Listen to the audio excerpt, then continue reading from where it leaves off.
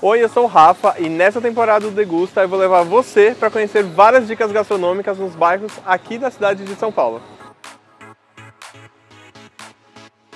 Hoje eu estou aqui no Baixo Pinheiros, um dos bairros mais gourmetizados de São Paulo, e eu estou indo encontrar minha amiga Lígia, que conhece tudo por aqui. A Lígia é jornalista e apaixonada por comida, e é ela que vai me apresentar as melhores dicas do Baixo Pinheiros, do lado mais cosmopolita do bairro, onde diversos restaurantes e bares ocupam as poucas ruas daqui. Rafa, eu vou te levar hoje num lugar que eu amo aqui em Pinheiros, que é um restaurante que tem uma alma espanhola. E eu, assim, eu adoro a comida da Espanha porque eu tenho família lá, então Ah, eu tenho uma, uma memória até afetiva. Aham. Vamos lá? Partiu, vamos lá Boa, então. Demorou.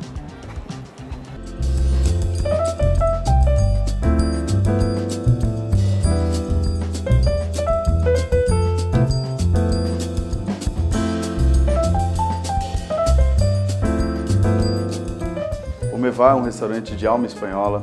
O conceito de tapas é muito utilizado aqui. Uma das tapas é o dominó de batatas. Essa batata é laminada e a gente deixa ela no formato de um dominó caindo.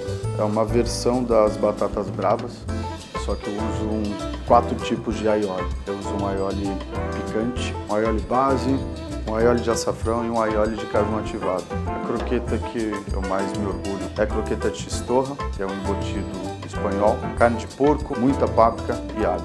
Eu finalizo com aioli de carvão ativado, semente de mostarda fermentada. Nossa, e agora eu tô ansiosa por esses pratos. Nossa, olha que lindo.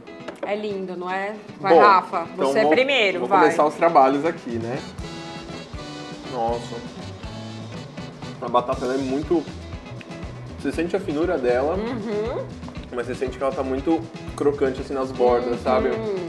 Agora experimenta esse aqui com, com esse molho de mostarda, pra você ver o que você acha. Nossa. Dá o- é, É outro prato. outro prato. É tá? outro prato.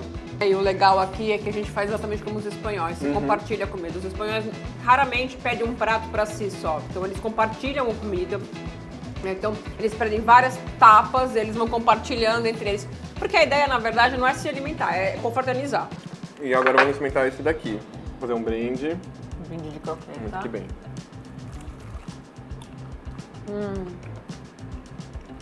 Como eu amo isso aqui. Nossa, eu não esperava esse sabor. É muito delicioso, não é? Nossa, ele é muito gostoso. Nossa, eu comeria uns 30 desses.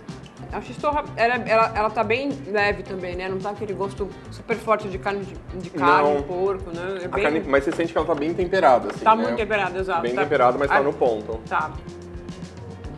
Nossa, e bebendo esse drink aqui ficou muito gostoso também. Então, não combina perfeitamente o drink? Combina. Combina real, porque ele é, ele é leve, ele é cítrico. Isso aqui você não vai embora a tarde inteira comendo isso? Bebendo um vinho? Você passa o dia inteiro aqui. Então, é isso que os espanhóis fazem de melhor. Mas não vamos Hum. abusar muito aqui hoje, porque eu quero te levar para outro lugar ainda. Nosso dia não acabou. Eu já ia pedir outro prato. Não, não, não, não, não. Agora depois daqui a gente vai lá pro Nozin. Lá é um brunch all day. Imagina um café da manhã que você pode comer de manhã Esticar o até de inteiro. tarde.